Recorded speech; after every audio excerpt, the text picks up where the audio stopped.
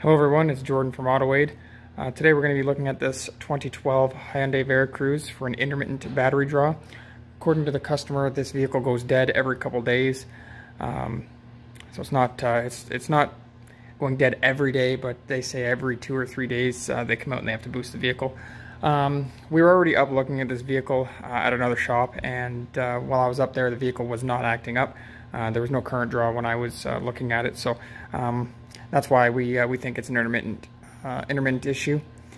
Uh, so anyways, what we're going to do is we're going to hook up our uh, scope and our voltmeter just to uh, um, uh, so we can get a, an on-demand reading with the or, or in a more precise reading with the voltmeter. but we're also going to hook the scope up so we can monitor it over time because it, it is an intermittent issue. Now we're going to be using our Prova amp clamp around the negative battery uh, cable and that'll give us a uh, good current reading. Uh, so I'm going to get this stuff hooked up and I'll see you shortly. Alright, so we got our scope hooked up here to our current probe. We also have our voltmeter hooked up and uh, as you can see that's a pretty low reading. Um, our current probe, we have it, uh, the, the scale set at um, 100 millivolts equals 1 amp. Uh, so we're sitting at about, that's what, 20 milliamps thereabouts, 20 or 30 milliamps, which really is not that much, nothing to be really concerned about. So um, we've also got it hooked up to the scope here.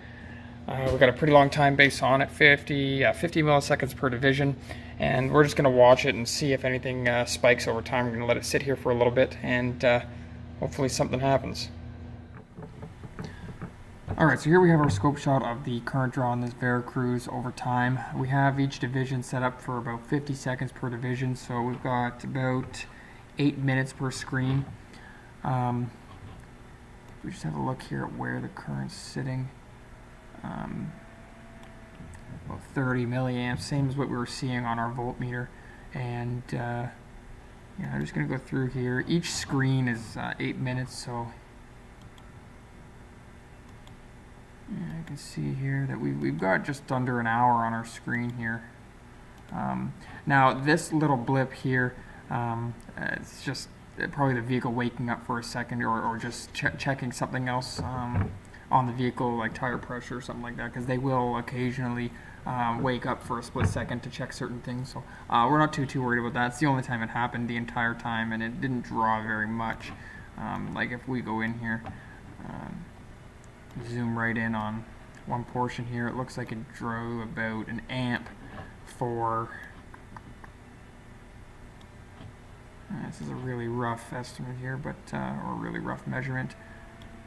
88 milliseconds, so that's that's not going to kill a battery. I mean, if it's doing that every minute or so, then yeah, that, that would kill the battery. But once once in about an hour, it's not going to do much. So um, now, if we take a look at this whole time here, we have about 20 seconds, and you can see that there's a lot of gaps in between each uh, each draw there. So um, we're not too too worried about that. We don't think that's the issue there. So um, unfortunately, there's no current draw happening here that we can see. So we're gonna have to let this thing sit overnight. Um, actually, I think we're probably gonna let it sit for two days and uh, and then recheck everything. Um, so we'll leave it at that for now. Pull this out of the shop and uh, come back in a few days.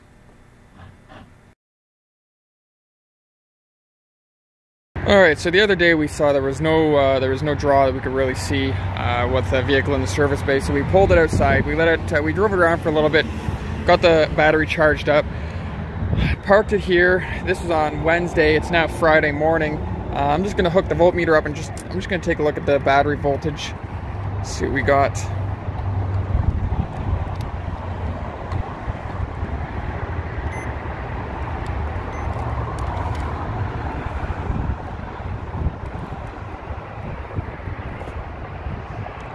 12.4 so it's it's dropped over the last couple days.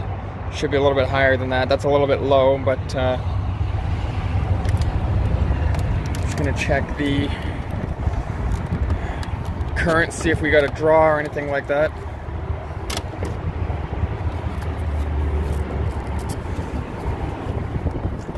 Ramp clamp out. Set it on the 4 amp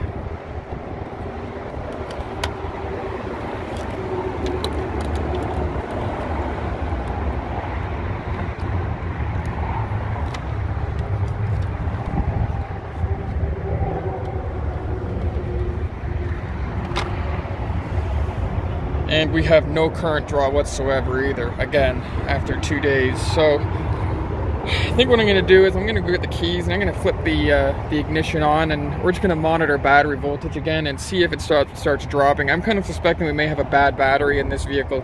Um, so yeah, I'm gonna I'm gonna get the key and, and, flip it on and just turn some loads on and see how uh, quickly this battery starts to deplete. Okay, so we have the voltmeter hooked up to the vehicle. Now I'm just going to go inside and uh, turn the key on. And right there where the, the voltage dips, that's just me hitting the unlock button on the fob. Um, and it, you can see it dip down to under 11 volts for a split second. Uh, so now this is just me getting in the vehicle here and uh, key on with headlights on. It's reading about 11.3 volts, which is way, way too low uh, for this. So I'm thinking we got an issue with this battery. Um, so next what I think we're going to do is hook the scope up to the battery and just monitor voltage with the vehicle cranking and see how, uh, how far it dips down uh, when we hit it with the starter. Okay, so now we know the battery voltage drops like a stone as soon as you hit it with, uh, with a minor load. So I think what we're going to do now is we're going to grab the Pico scope on our laptop here and uh, hook it up to the battery and just uh, watch what the voltage does when we uh, hit it with the starter, when we hit it with a real big load. Um, I'm thinking that this thing's not even going to start this morning when we go out there because it's just, if it drops that quick when you're turning the headlights on, um, you can just imagine what it's going to do when we hit it with the starter. So I'm going to get this stuff hooked up here and uh, we'll see exactly what happens. Okay, so we got our Picoscope hooked up here to our battery. Got it recording there on the screen, so Just gonna go unlock this thing and fire it up and see if it starts.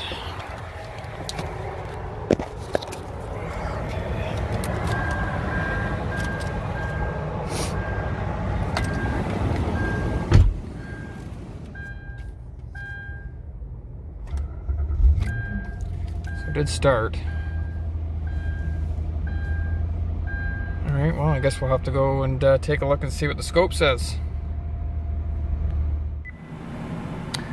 So let's take a look at this Pico shot a little in a little more detail. Let's just zoom in on uh, where the starter hits here. Now if we take a look at uh, how low the voltage gets when the starter first hits, looks like it drops down to about 7.3 volts thereabouts, and that's that's pretty low.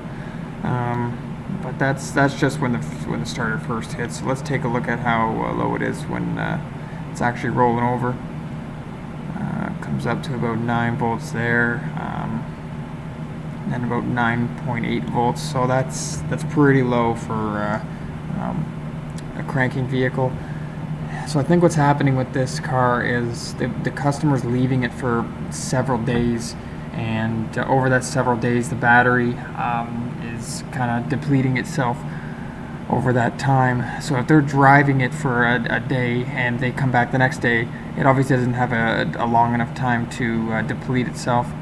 Um, but the, the more time goes on, the more it depletes itself and uh, eventually would likely cause the no start. Now, unfortunately, we were not able to um, experience the uh, the dead battery or the no start. Just that the customer couldn't leave the car with us long enough for it to sit long enough. But uh, I think with the evidence that we're seeing here, um, we're pretty comfortable with uh, with calling this battery uh, as being no good.